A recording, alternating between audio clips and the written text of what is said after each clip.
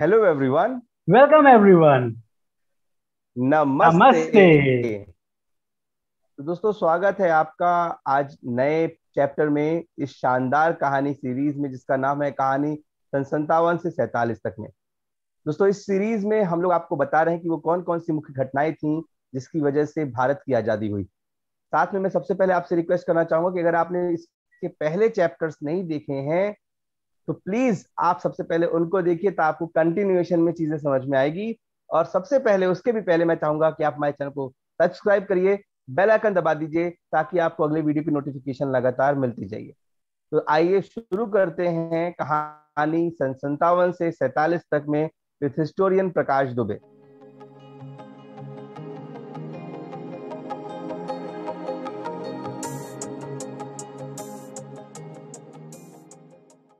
Okay तो प्रकाश ये बताइए कि चलिए पिछली स्टोरी में हमने देखा कि गांधी जी का भी अब धीरे धीरे इंडिया आना हो रहा है और डिवाइड एंड रूल पॉलिसी कैसे ब्रिटिशर्स ने अपनाई, मुस्लिम लीग का फॉर्मेशन हुआ।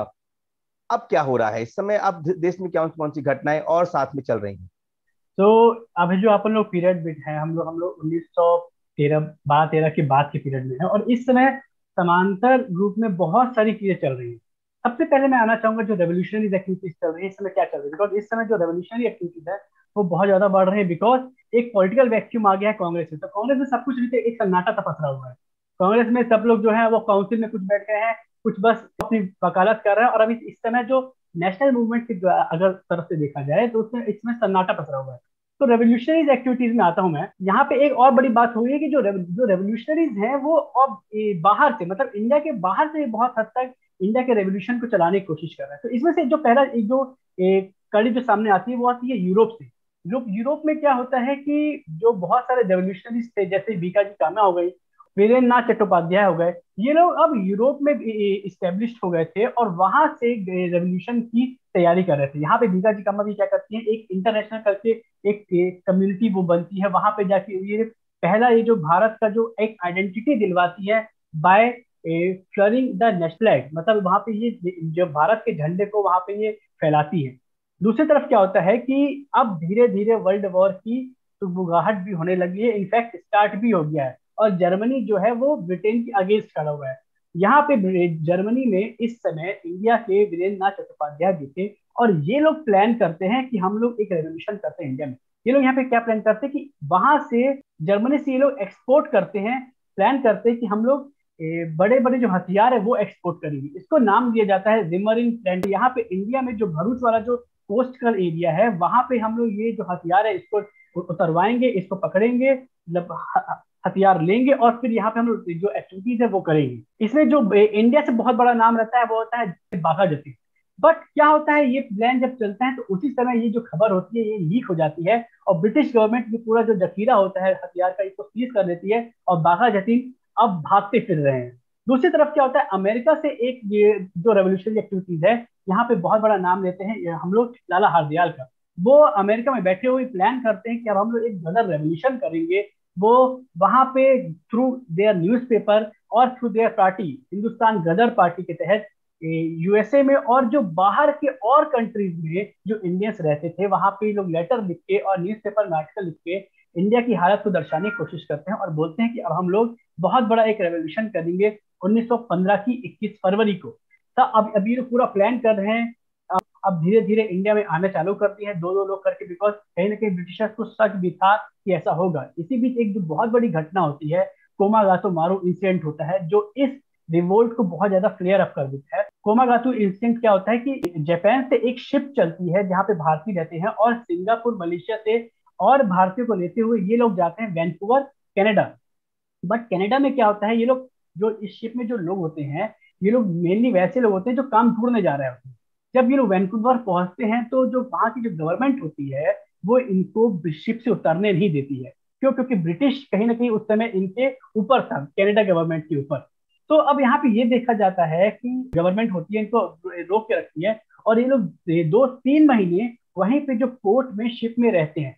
कुछ देर तक इनको लगता है कि अब आने देंगे बट फिर इनको जब जब वापस लौटा दिया जाता है, इनको किसी तरीके से एंट्री नहीं दी जाती है बिकॉज़ जो गवर्नमेंट थी, इनको लग रहा था कि ये जो शिप है इसमें कहीं ना कहीं रेवोल्यूशनरीज भी आ रहे हैं तो ये शिप वापस भेज दी जाती है। जब ये शिप वापस आती है इसको कैलकाटा में फोर्ट करवाया जाता है और जब ये लोग, अब कैलकाटा कैलकाटा में लोग ऐसी तैयारी करते रहते हैं कि ट्रेन और सब तैयार है कि मेनली जो पंजाबी रहते हैं इसमें तो अब धीरे धीरे ये लोग सब अब पंजाब की तरफ़ वापस जाने के लिए तो ये लोग जैसे शिप से उतरते हैं ट्रेन की तरफ़ जाने के लिए, ये लोग बोलते हैं कि हम नहीं जाएँगे, हम हम लोग को कनाडा जाना है अपनी रोजी रोटी के लिए। तो यहाँ पे एक फायरिंग हो जाती है और बाईस लोगों की हत्या कर देते हैं पुलिस वाले।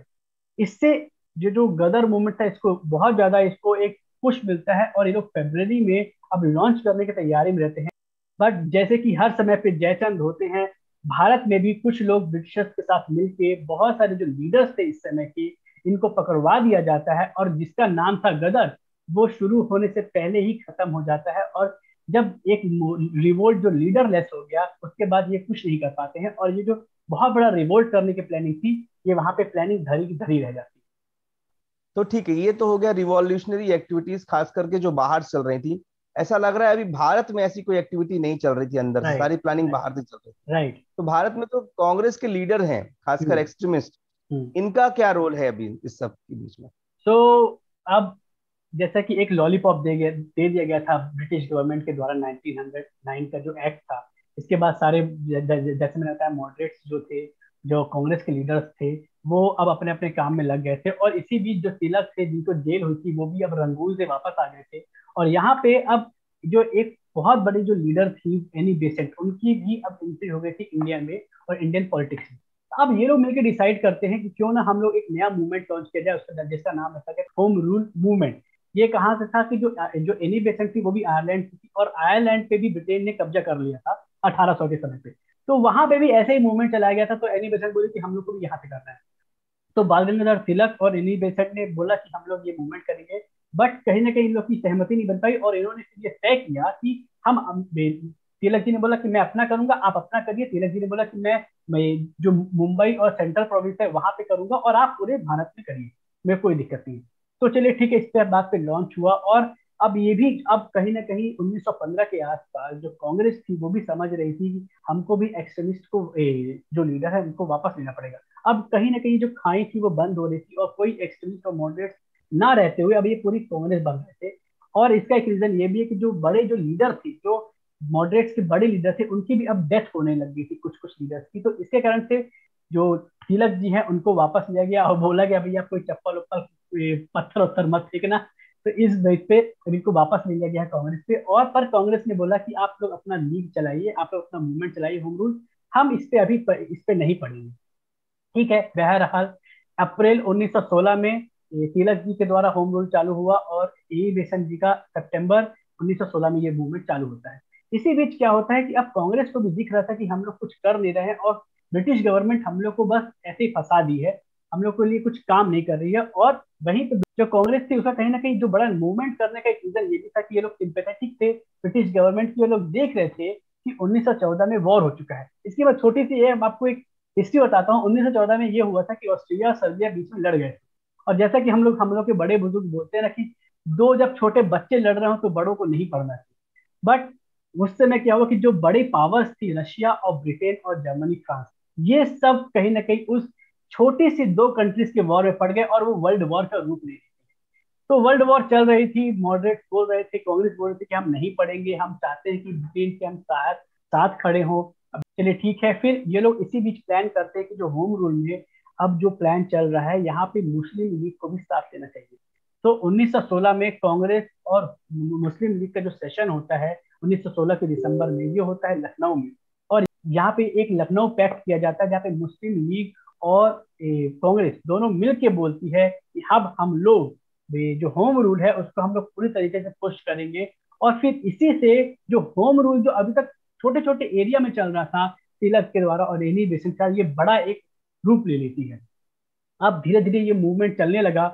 बहुत सारे लोगों ने उस समय जेन्युइन अवार्ड वापसी भी की, जो सर एक, जो सुब्रमण्यम अय्यर थे उन्होंने अपना सर का नाइटहुड का टाइटल वापस कर दिया। तो धीरे धीरे अब ये मूवमेंट ज़ोर पकड़ने लग गया था और कहीं ना कहीं लोगों के अंदर ये लग रहा था कि हाँ अब वापस से कांग्रेस अपने आप को ला रही है और वापस से कांग्रेस भारत की बातें कर रही है। पर फिर से वही हुआ जो कैरेट और स्टिक की पॉलिसी चल रही थी गवर्नमेंट की जो क्या बोलते हैं ब्रिटिश गवर्नमेंट की। इस बार इन्होंने ये बोल दिया 1917 में ही कि आ, हम लोग एक नया एक्ट लाने वाले हैं और हम लोग अब जो भारत का रिप्रेजेंटेटिव है उसको और बढ़ाएँगे और यहाँ पे जो जो चेम्सफोर्ड थी जो जो यहाँ पे इस समय थे, उन्होंने अपने मगरमच्छ के झूठे आँसू बहाए और उन्होंने बोला कि हम लोग अभी वॉर लड़ रहे हैं प्लीज़ हम लोग को यहाँ से सोल्जर्स भी चाहिए। तो यहाँ पे हमारे जो बहुत सारे जो लीडर्स थे, उसमें से कहीं ना कहीं गांधी जी भी आते हैं, उन्होंने जो बढ़ चढ़ के जो यहाँ के लोगों को था, उनको परसुएट किया ब्रिटिश आर्मी को जान के लिए और वहाँ पे उनको मरने के लिए वापस से छोड़ दिया था। तो अब जब यहाँ पे जो एक सिर्फ़ एक अनाउंसमेंट हुई कि हम लोग नया एक्ट लाने वाले हैं। उसी को देखते हुए जो मॉडरेट्स थे, जो कांग्रेस थी, उन्होंने बोला कि अब हम लोग तो ये, जो कंटिन्यू नहीं करना चाहिए। अब सबको लगा कि यार, अभी तो आपने चालू किया था और ये, और फिर से कहीं ना कहीं कांग्रेस इनकी झूठी फसली बातों में पड़ गई और इन्होंने जो मूवमेंट था उसको रोकने की बात कही।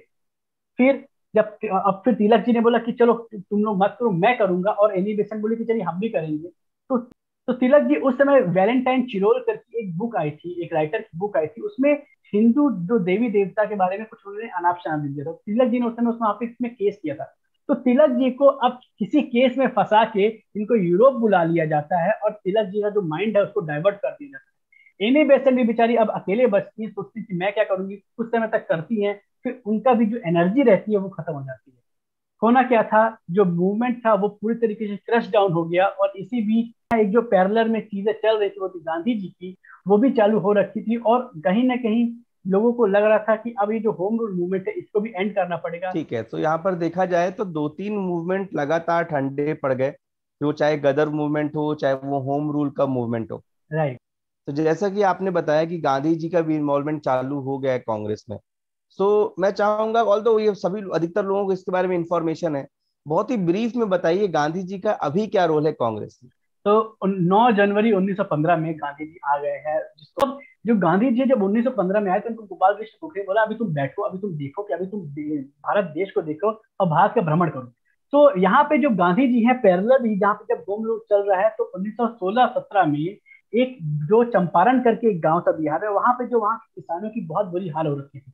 जब ये जब वहाँ के एक जो नेता थे, राज कुमार शुक्ला, ये जब परसुएट कर रहे थे किसी कांग्रेस लीडर को कि ये चंपारण का जो मुद्दा है उसको उठाएँ। जब वहाँ पे कोई नहीं उठाता है तो इनको बताता है कि ये गांधी जी आए हैं, अफ्रीका से बहुत सक्सेसफुल होकर उनके पास जाइए। कि गांधी जी के पीछे पड़ते कि गांधी जी हमारे बारे में देखिए, हमारे चंपारण में जो बहुत बड़ा एक तो किसानों के साथ मुद्दा चल रहा है, उसके बारे में देखिए। तो गांधी जी पहले तो इंटरेस्ट नहीं लेते हैं, पर जब गांधी जी सुनते हैं कि कितना सिवियर ये इम्पैक्ट हो रहा है चंपारण में तो गांधी जी इनके साथ जाते हैं। यहाँ पे एक बहुत मज़ेदार स्टोरी ये भी है कि जब बापू, जब गांधी जी वहाँ पहुँचे तो जो वहाँ के लोग थे इनको लगा कि बहुत बड़े कोई योगी आए हैं बहुत बड़े कोई ऐसे आदमी आए जो छूते हैं जिसको जो, जो इनका सब कुछ प्रॉब्लम हल कर देंगे। तो वहाँ पे जो गांधी बाबा गांधी बाबा इनका नाम से बड़ा फ़ेमस हो गया कि भैया कोई बहुत बड़े चमत्कारी बाबा आ गए हैं। तो चंपारण में जो जो नील की खेती हो रही थी उसको लेकर के बहुत ज़्यादा दिक्कत हो रही थी वहाँ के किसानों को। वहाँ पे उनसे ज़बरदस्ती उगवाया जा रहा था किसानों को और उनकी जो ज़मीन थी अब वो उनसे कब्जे मिले रहे थे। तो गांधी जी ने वहाँ पे इंटरवीन किया और गांधी जी ने बोला कि जो ब्रिटिशर्स कर रहे हैं, ये गलत कर रहे हैं और ब्रिटिशर्स को ये चीज़ नहीं करना चाहिए। तो वहाँ पे शुरुआत में ब्रिटिशर्स ने कुछ नहीं सुना बट गांधी जी ने बोला कि अगर आप लोग नहीं सुनेंगे तो मैं स्ट्राइक पे जाऊँगा और मैं लोगों को बोलूँगा कि ये सब स्ट्राइक पे जाए। बट तो फिर वहाँ की जो लोकल एडमिनिस्ट्रेशन थी, उसको सुनना पड़ा और जो वहाँ के जो प्लांटर्स थे, जो प्राइवेट प्लांटर्स थे, उनको बोला कि आप इनकी ज़मीन इनको वापस करिए। इसी तरीके से जो गांधी जी जो यहाँ का पहला एक चंपारण जो सत्याग्रह था, उसकी शुरुआत करते हैं। तो अब गांधी जी की जो पॉलिटिकल जर्नी है, अब जो गांधी जी की जो इंडिया की इंडिपेंडेंस की जो जर्नी है, वो शुरुआत हो गई। गांधी जी की जो बहुत गजब बात थी, वो जो लोकल इशू को, वो जो नेशनल इशू और इंटरनेशनल इशू बना देते थे, उससे गांधी जी की अब जो पैठ थी भारत में, वो बढ़ने लगी थी। इसके बाद वो जाते हैं अहमदाबाद और खेड़ा। ये जो बहुत बड़े जो मेन जो रेवोल्यूशन थे इसी बीच। तो अहमदाबाद में क्या होता है? अहमदाबाद में मील की स्ट्राइक हो रही थी। गांधी जी को शुरुआत में जो वहाँ का कलेक्टर था, उसने बुलाया कि आप आइए और हम लोग के बीच में इंटरवीन करिए, हम लोग के बीच में बात करिए। तो ये जब शुरुआत में गांधी जी गवर्नमेंट की तरफ़ से जाते हैं तो पर जब देखते हैं कि वहाँ की हालत कैसी है, इनको पैसा नहीं दिया जा रहा है तो गांधी जी फिर इनके साइड हो जाते हैं। किसके? जो मिल के वर्कर होते हैं। अब मिल के वर्कर को लगता है कि अब हम लोग जीत होगी। बट यहाँ पे जो गवर्नमेंट रहती है, वो ये बीच का मध्यस्थता निकालने की कोशिश करती है कि अभी आप लोग काम करिए, हम आप लोग को बाद में पैसा देंगे। गांधी जी भी बोलते हैं, चलो ठीक है, अभी कुछ काल करके देखो। बट जब कुछ नहीं होता है तो यहाँ पे गांधी जी पहले हंगर स्ट्राइक की धमकी देते हैं। अब जब गांधी जी ने बोला कि आप लोग काम करना बंद कर दीजिए, मैं मैं आपके साथ हंगर स्ट्राइक करूँगा तो यहाँ पे जब स्ट्राइक की बात हुई तो यहाँ से जो गवर्नमेंट थी, वो डर गई थी और फिर उन्होंने मिल वर्करों के लिए काम किया। इसके बाद फिर खेड़ा में भी जो पीजेंट्स का प्रॉब्लम था वहाँ पे भी गांधी जी ने काम किया। और यहाँ पे कहीं ना कहीं सरदार वल्लभ भाई पटेल जो, जो जो थे वो भी इनके साथ आने लग गए। तो गांधी जी अब इसके साथ साथ धीरे धीरे जो इंडियन की जो स्ट्रगल में था वो अब आने लग गए थे। और गांधी जी ने जो सत्याग्रह का जो मार्ग था सत्याग्रह का वो अब लोगों को दिखाना चालू कर दिया था। तो अब गांधी जी भी यहाँ पे आ गए थे इंडियन मूवमेंट में। और इसी बीच जो रावलेट जो एक्ट था, क्या था कि जो ब्रिटिश गवर्नमेंट थी, वो बहुत, यहाँ पे जो चाहते नहीं थी कि जो लोग थे वो रेवोल्यूशन करें और लोग एकत्रित हो। तो रावलेट एक्ट यहाँ पे आ गया उसके तहत ये होता था कि ना कोई वकील होता था, ना कोई दलील होती थी, आपको कभी भी जाके आपको एक, क्या बोलते अरेस्ट कर लिया कर लिया जाता था, सिर्फ़ इस बया पे कि आप कोई रेवोल्यूशन करने वाले हैं। तो जब ये एक्ट आया तो गांधी जी को और जितने भी सभी लोग जो लीडर्स कर कि हम लोग की वॉइस को कर्टेल करने की कोशिश कर रहे हैं और हम लोग इसके खिलाफ खड़े होंगे। तो राउलेट सत्याग्रह करके यहाँ पे एक मूवमेंट चालू होता है। तो यहाँ पे पंजाब में अब यहाँ पे जब जब एक्शन शिफ्ट होता है और इसीलिए पंजाब में जो बहुत सारी गतिविधियाँ को देखते हुए वहाँ पे मार्शल एक्ट लगा दिया जाता है। मार्शल एक्ट क्या होता है कि आज तक हमारे कॉन्स्टिट्यूशन में वर्ड तो है मार्शल एक्ट पर इसको डिफाइन नहीं किया गया है। और उस समय भी लोगों को पता नहीं था कि मार्शल एक्ट लगा दिया गया मार्शल लॉ उनके ऊपर लग दिया गया है, और लोगों तक इसकी ये बात फैलाई नहीं गई। पंजाब में इसी बीच जो दो बड़े लीडर्स थे सतपाल सिंह और किचलू, इन दोनों को गिरफ़्तार कर लिया जाता है और वहाँ पे बैसाखी का एक पर्व भी आना होता है। तो लोग बोलते, चलो, एकत्रित होते हैं, हम लोग अपना बैसाखी का पर्व भी मनाएँगे और हम लोग जो लीडर्स को, हमारे लीडर्स गिरफ़्तार कर रहा है, इनके खिलाफ हम लोग आवाज़ भी उठाएँगे। लोगों को पता नहीं था कि ऐसा कोई मार्शल लॉ भी लगा हुआ है उनकी ज़मीन पे, उनके पंजाब में और लोग एकत्रित होते हैं वहाँ पे जलिया वाला बाग करके एक मैदान में। जब वहाँ पे लोग एकत्रित होते हैं तो वहाँ पे जो वहाँ का गवर्नर रहता है, वो डॉयर यहाँ पे डिफरेंस है और वहाँ पे जो एक यूनिट को लीड कर रहा रहता है, वो होता है जनरल रेजिनल्ड डायर के दो, ये दोनों अलग रहते हैं। जो जो गवर्नर रहता है, वो इनको आदेश देता है कि जाके उस जो वहाँ पे जो सभा चल रही है, उसको रोको। डायर रहता है जो, वो क्या करता है, रोकने की बजाय, क्योंकि अब कंट्रोल आर्मी के हाथ में आ चुका है। तो आर्मी कभी ना कभी क्या देखती है कि वो लॉ एंड ऑर्डर नहीं देखते हुए सिर्फ़ और सिर्फ़ वहाँ पे जो चीज़ें खराब है उसको देखती है और आर्मी कहीं ना कहीं सिर्फ़ और सिर्फ़ बंदूक से बात करती है। इसलिए जो लास्ट रिजॉर्ट होता है, वो होता है आर्मी का।